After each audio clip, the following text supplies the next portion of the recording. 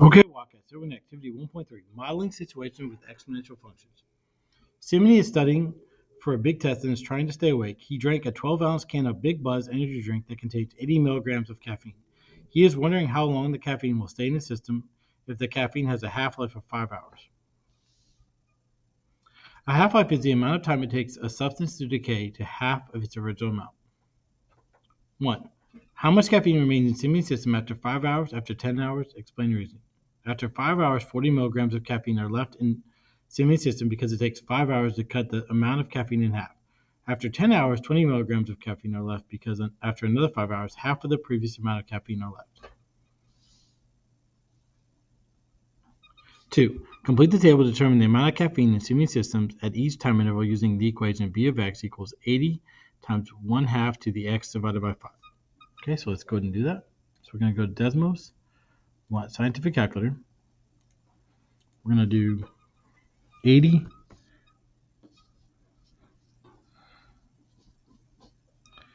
parentheses 1 divided by 2 raised to the x divided by 5. And then it says error. that's okay, because we're going to do x equals 0. That's 80. x equals 5, that's 40. x equals 10, that's 20. x equals 15, that's 10. x equals 20, that's 5. Okay? And so the number of half-life cycles, 0 divided by 5 is 0, 5 divided by 5 is 1, 10 divided by 5 is 2, 15 divided by 5 is 3, 20 divided by 5 is 4. All right, go ahead and complete the table. Number three, what is the initial amount of caffeine in Simony's system? What is the rate of decay? The initial amount of caffeine is 80 milligrams. The rate of decay is 0.5 for every 5 hours. All right, let's take a look at the next page. Go ahead and mark this page out. Number seven, predict when the caffeine will be completely out of Simony's system does this make sense, given what you know about exponential functions? The caffeine will never be completely out of Simony's system because the amount will continue to divide in half until there is a tr- uh, just a trace amount left. 8.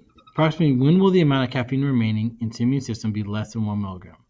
After graphing y equals 80 times parentheses 1 half to the t divided by 5 and y equals 1. So let's go ahead and do that first. So we're going to go to Desmos graphing calculator. We're going to graph 80 parentheses 1 divided by 2 parentheses raised to the, we have to use x instead of t, x divided by 5, and y equals 1. Now, we want to know when it's less than y equals 1, so when it's below this line. Okay, so at this point, it's now below the one milligrams. So let's round that to one decimal place, so 31.6. So you determined that the amount of caffeine remaining in Simony's system is less than one milligram after 31.6 hours. Number nine, use the properties of exponents to rewrite your function so that only the variable t is in the exponent. What percent of caffeine remains after each hour? So we have b of t equals 80 times 1 half to the t divided by 5, which can be rewritten as 80 times 1 half to the 1 fifth times t, which equals 80 times, let's go ahead and put 1 half to the 1 fifth power. So 1 divided by 2 to the 1 divided by 5 is 0.87 to the t power. So there's 87% of the previous amount of caffeine remaining after every hour.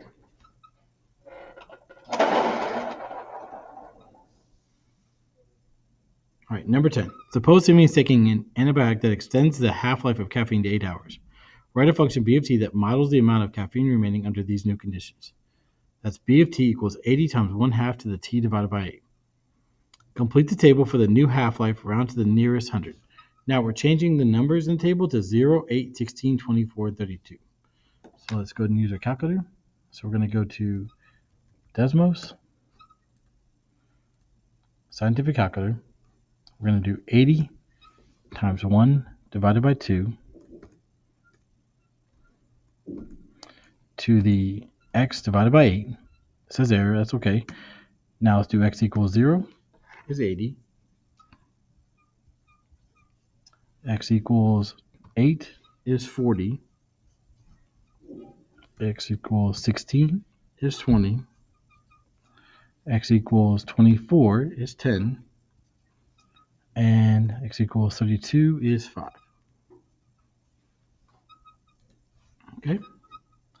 Now the number of half-life cycles, 0 divided by 8 is 0, 8 divided by 8 is 1, 16 divided by 8 is 2, 24 divided by 8 is 3, 32 divided by 8 is 4. All right, go ahead and complete the table. All right, let's take a look at the next page.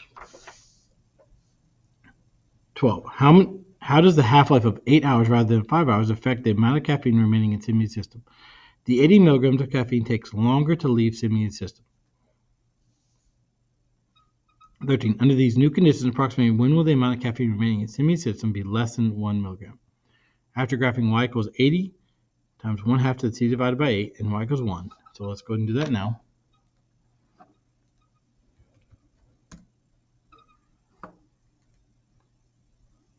So 80 times 1 divided by 2 raised to the x divided by 8 and y equals 1. And again, we want to find out when it's below 1 milligram. So I'm going to zoom out. We can see at this point right here is when it becomes below. With, let's go and round that to one decimal place, so 50.6.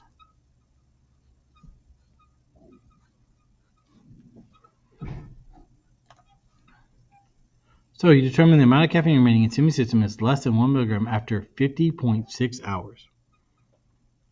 All right. 14.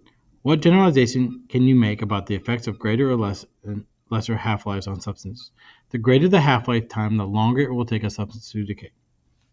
Let's take a look at the next page. The student works 1, 2A, 2B, and 2C.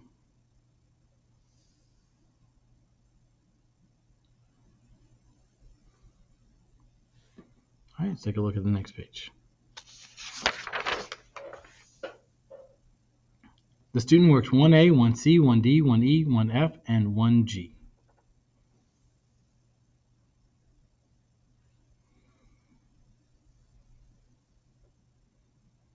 All right, let's take a look at the next page.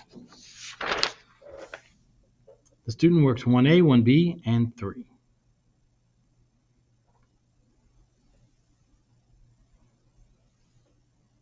All right, go ahead and start working on your assignment and have a wonderful Wildcat day.